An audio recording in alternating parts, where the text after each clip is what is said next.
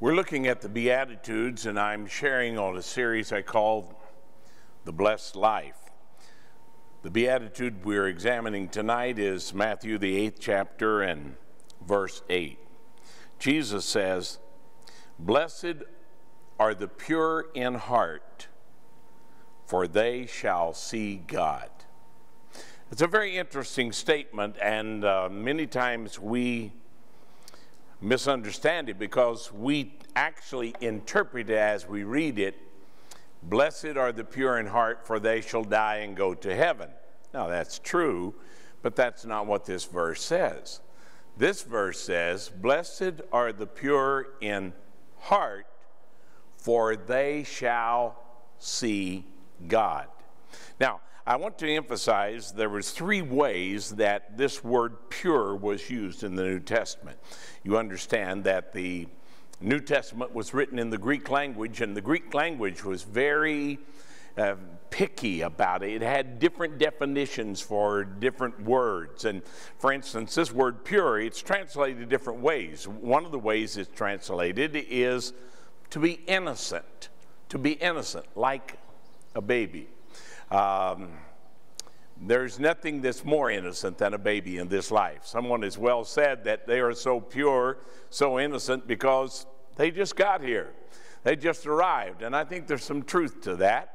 So, this is one of the ways that this word is translated. Blessed are the innocent in heart, for they shall see God. Another way that this word is used is clean, and that's the way I'm emphasizing tonight.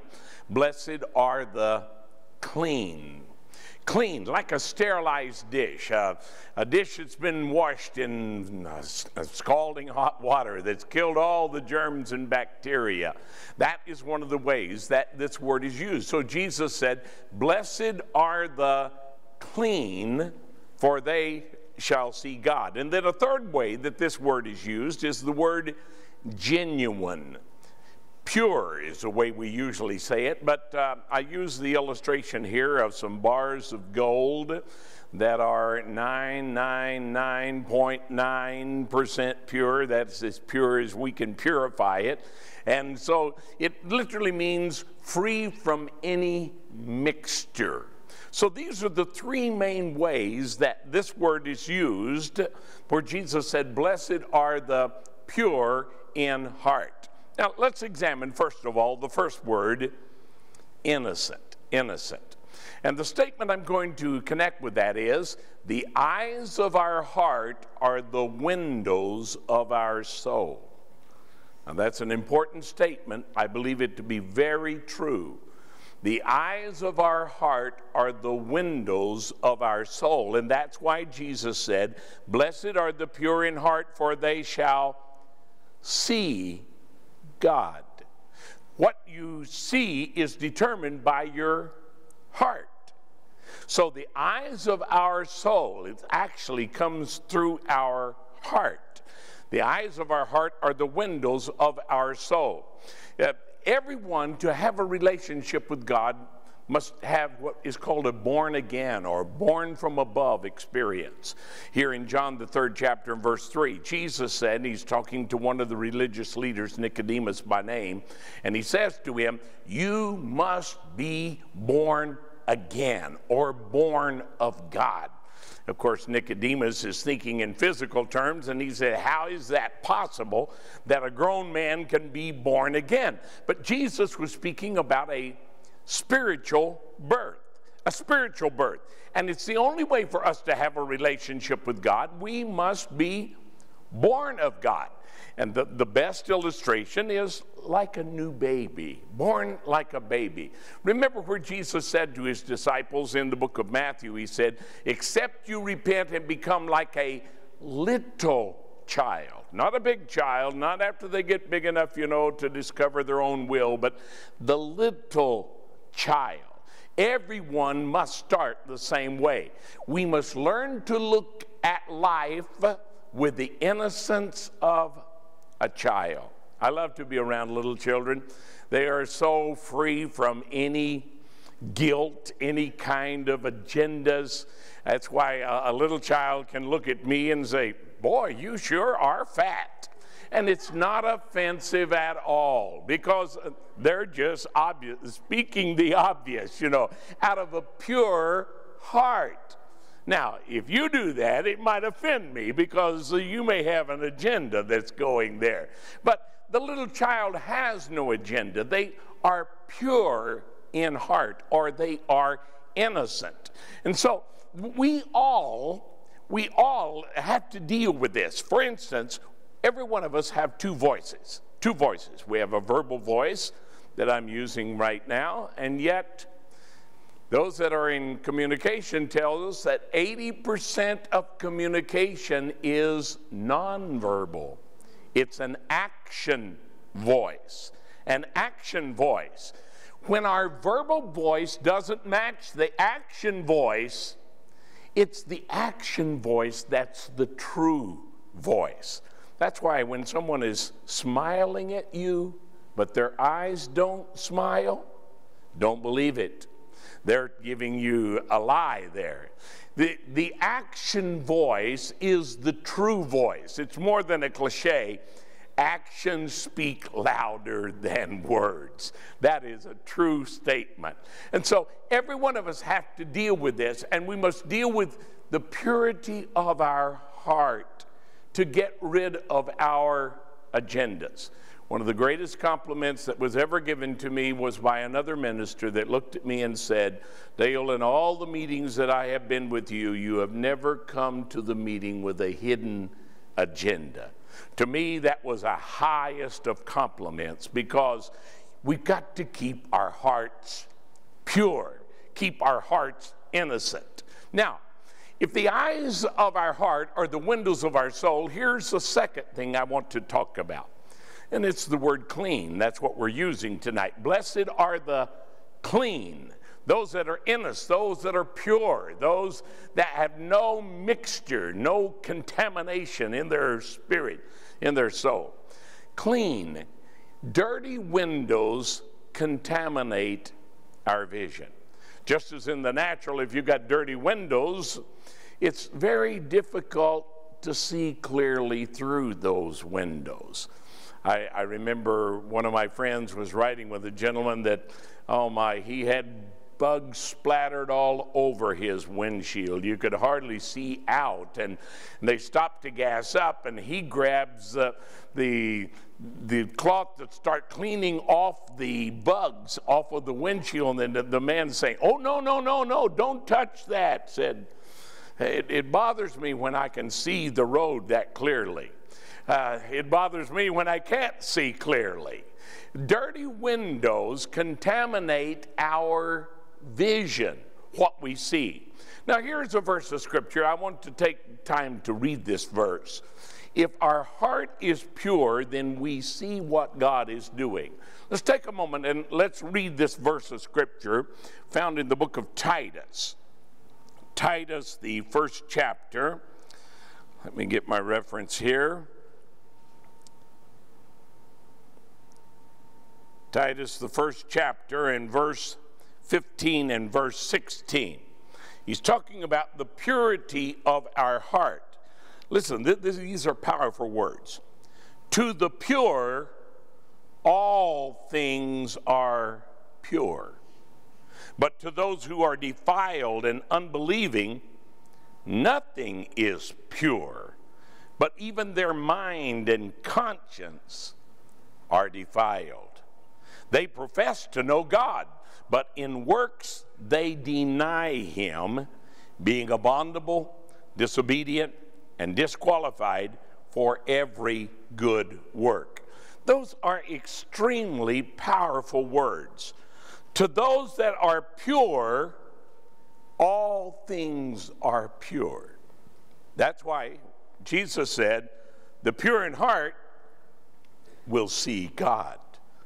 But to those that they, are, they do not have a pure heart, he said their conscience is defiled. Now, we we're using the illustration of Joseph, and that's what we see with Joseph and his brothers. See, if our heart is impure, we see what the devil, what people are doing rather than what God is doing. The purity of your heart determines what you see. Blessed are the clean, blessed are the pure in heart, for they shall see God. Now, in referencing Joseph, let me use this illustration. When someone responds negatively to what normally is good news, it shows he has a defiled conscience. For instance, with Joseph and his brothers, when his brothers came to Egypt to receive corn to eat, Joseph had his men put their money back in their feed sacks. They don't know the money's there. So when they get to their first camp to feed the animals and they open up the bag of grain, there's a sack of money in the sack of feed. What was their response?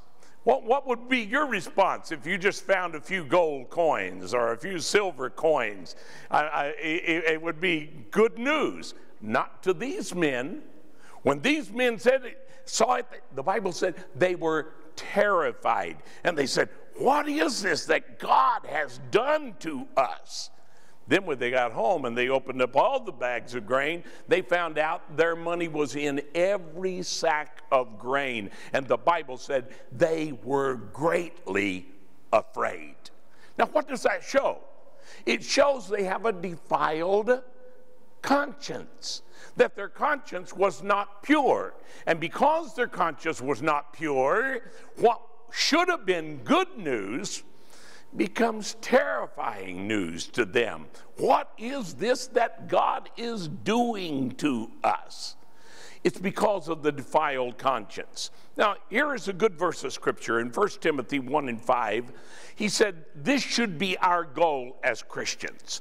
This is what we, our objective, what we're trying to accomplish. It should be, first of all, love out of a pure heart. There's our word again. Love out of a pure heart. That should be our objective as a Christian. The second word that he uses, he says, uh, and a good conscience. A good conscience. When he talks about conscience, the word conscience literally means an inner knowing. In other words, nobody else knows what's going on inside you but you and God. You know what's going on. This inner knowing is your conscience. And he said it should be a good conscience. It refers to inner secrets, things that nobody else knows anything about, just that's between us and God. So he said, This should be our objective as a Christian love out of a pure heart, a good conscience, and then what he called sincere faith. Sincere, a faith that's not faked, in other words. Sincere.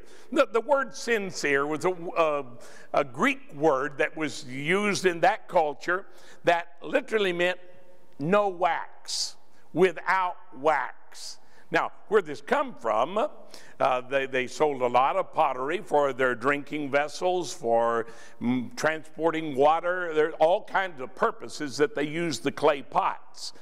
Dishonest merchants would use wax to cover the cracks in the clay pot.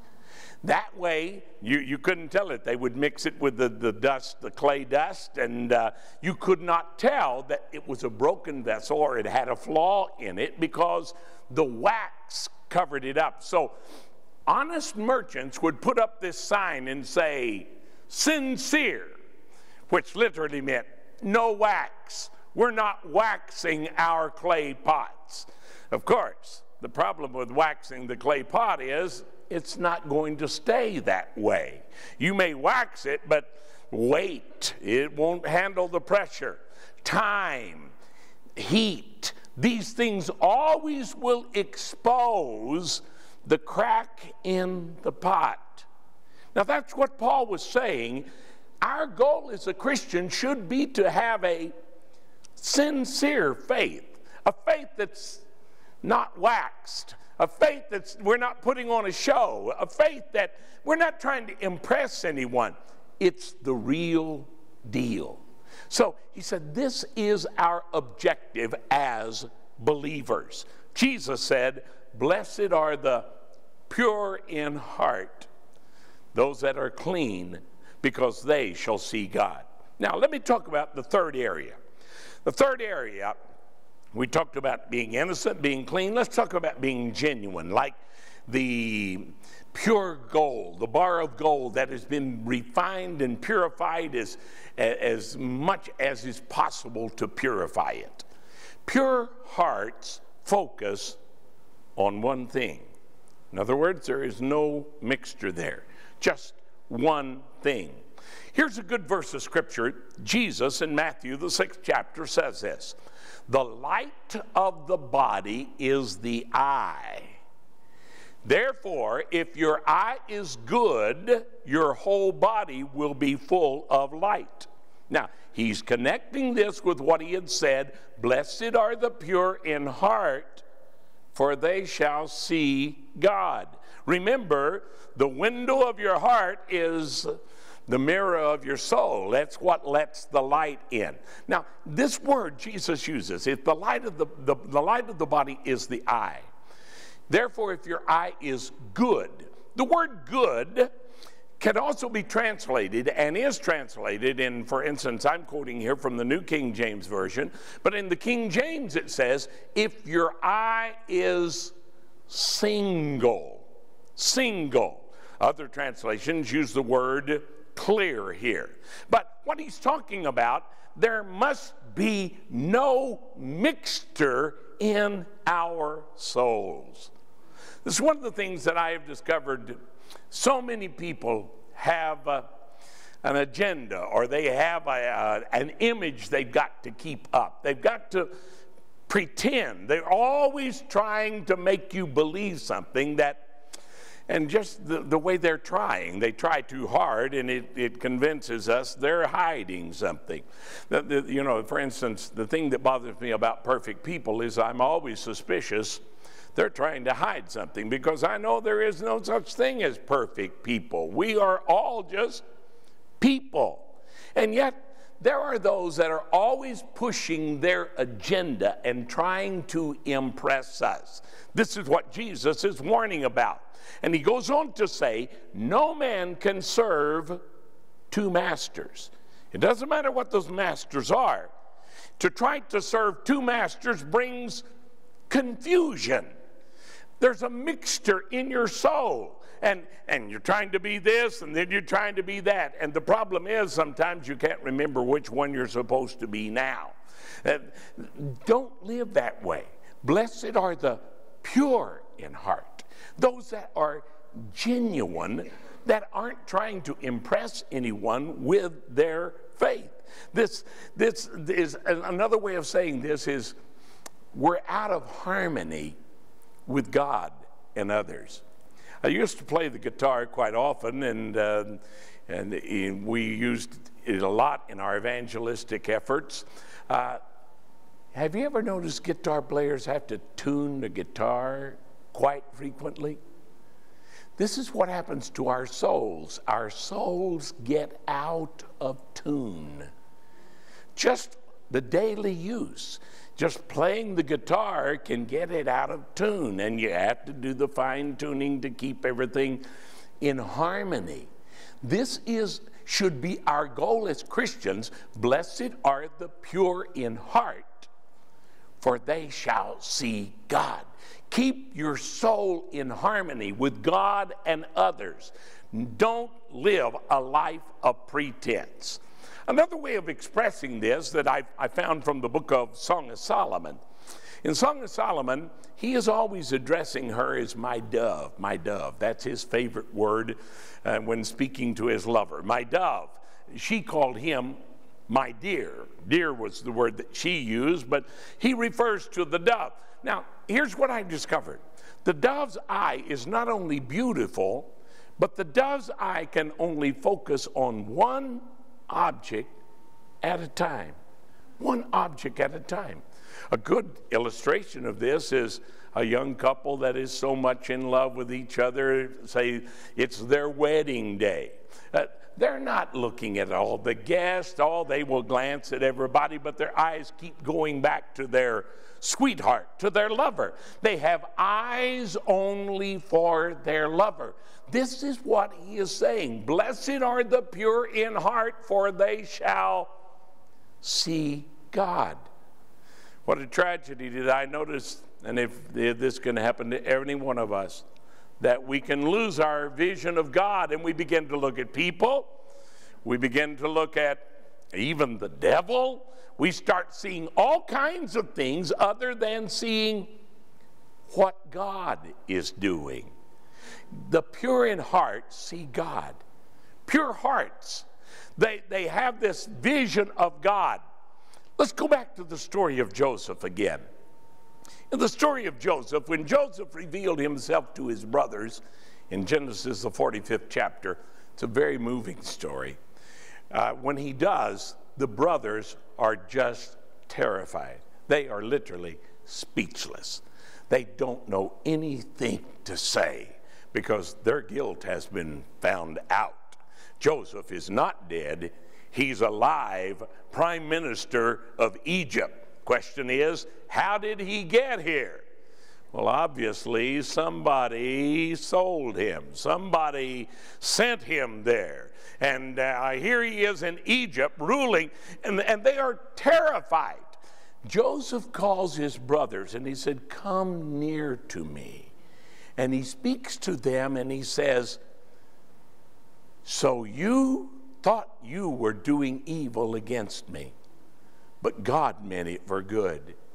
It was not you that sent me here, but God that sent me.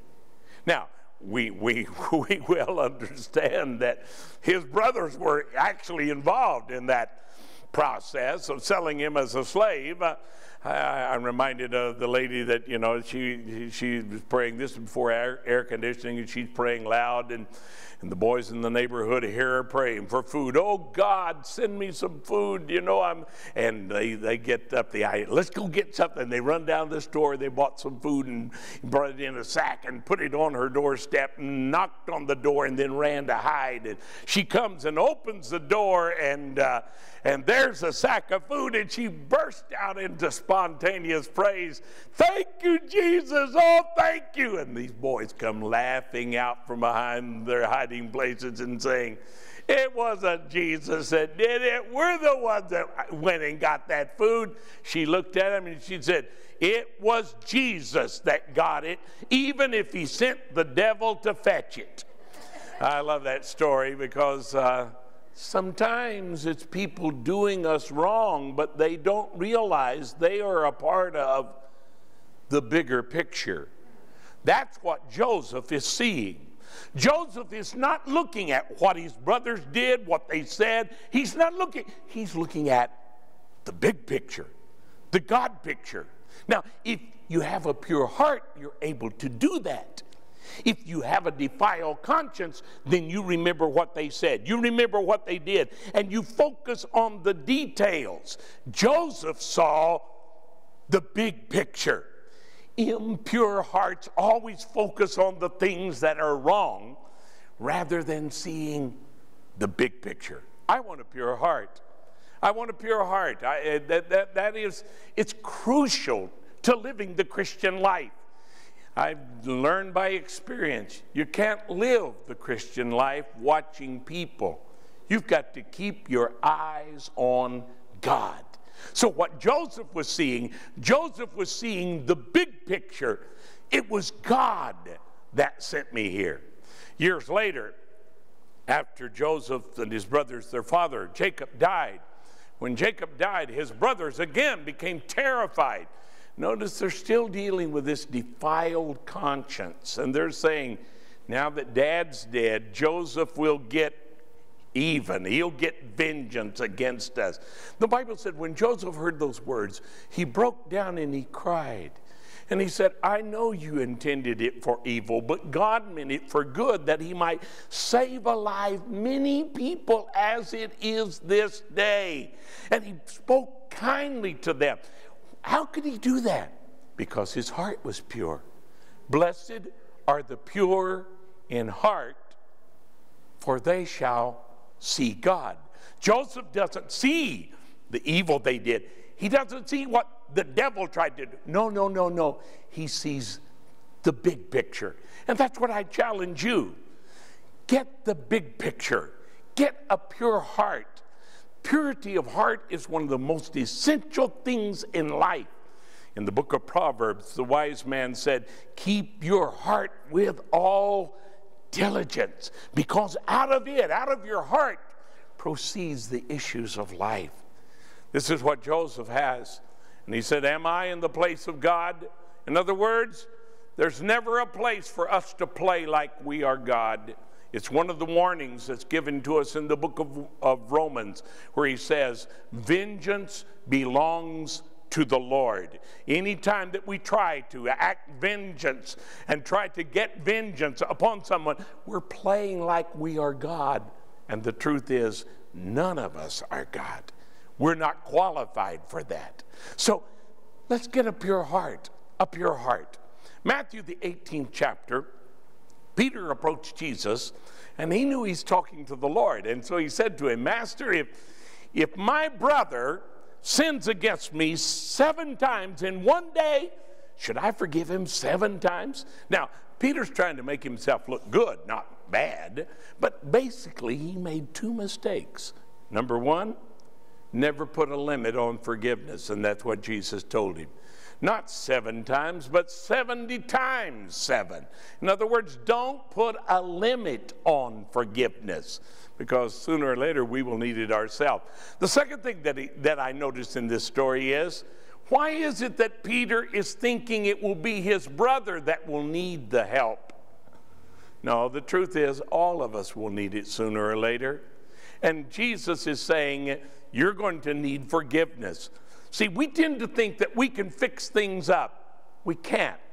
Jesus plainly said in this story, He was not able to pay. You don't have the resources to do it. So you've got to trust God, trust His forgiveness. The only way we can be saved is by grace. Salvation is only possible through grace because we're all bankrupt before God. And so I emphasize what Jesus said again Blessed are the pure in heart. Blessed are those that have a clean heart, an innocent heart, a genuine heart, because they shall see God. In other words, what we see reveals our heart. May God bless you.